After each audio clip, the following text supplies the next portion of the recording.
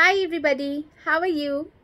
I hope you are fine at home with all the family members of your life. Stay home, stay safe and be alert. Okay, take care of yourself. Today I'd like to talk about some sentences. Yes, it's all about history of English literature.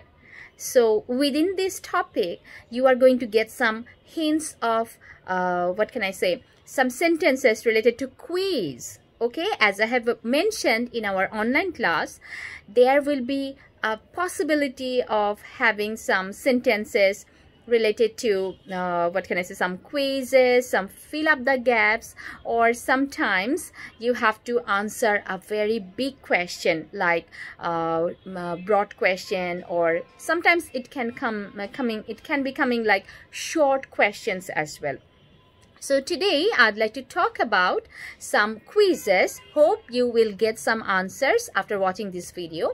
And I can make it right now. Suppose uh, if the question comes like Old English literature or Anglo-Saxon period starts. So you have to fill up the gaps. It starts in 450. 2. It ends 1066 okay? So uh, another sentence. It can be coming like anglo-saxon period um, has uh, what can i say? Germanic two germanic tribes. Who are those? So mention it. The angles and the Saxons. And, and, and you know that with Angles and Saxons we have got Jutes as well. So within these three tribes we have got oral literature. So from this period oral literature came out. And as you know that old english literature or anglo-saxon period did not have printing press. That is why we don't have any uh, kind of um, what can i say? We lost so many literature and we cannot get some information related to the poets as well. Suppose if I talk about who is the writer of the epic and uh, it's all about Beowulf. We don't know the writer, okay? So sometimes it's uh, it can be uh, coming like uh, uh, what can I say the Exeter book. We don't know who is the writer, okay?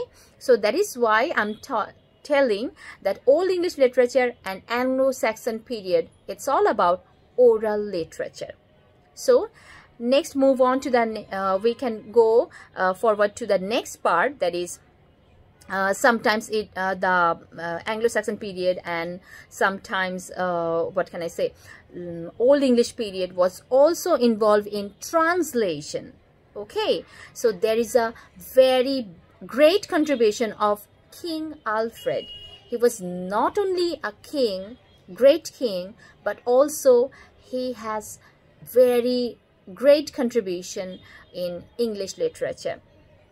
Okay, so we can talk about some uh, uh, relation uh, related to Caedmon and Cynewulf. That means these writers are very important in Old English literature. Because uh, Caedmon was also famous for his uh, historical writing. And Cynewulf as I have also mentioned in my other video that Cynewulf was uh, very famous for his mythical writing. Okay?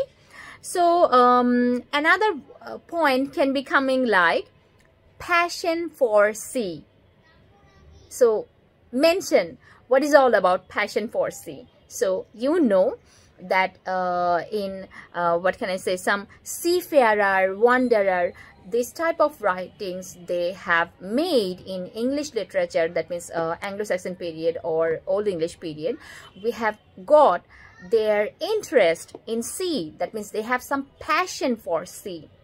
And it's all about adventurous life okay? So they they were very fond of adventurous life. And another thing i'd like to mention that there are there there was a fascination and sometimes they mentioned the melancholy of the sea. Okay?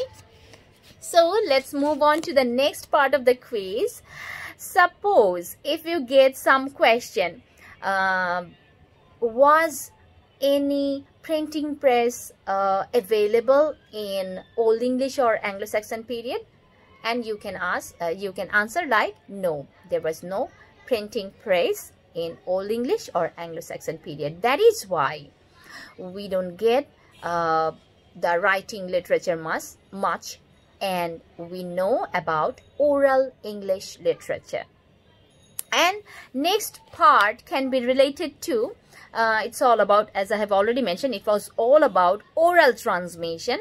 That is why some poems were involved in heroic and religious poems. As I have already mentioned Beowulf. So this can be related to one of the examples of heroic deeds okay? And uh, some religious poems uh, were also there in Anglo-Saxon or uh, Old English period. And uh, another thing, there will be some questions like uh, who were Britons? You can uh, talk like Britons were Christians and uh, who were Germanic tribes? You can uh, answer like Germanic tribes were pagans. Okay, so uh, another thing I'd like to mention that try to go through who was the writer or uh, what are the uh, what can I say prominent literary works of English literature? Specifically as I have already mentioned all about Old English and Anglo-Saxon period.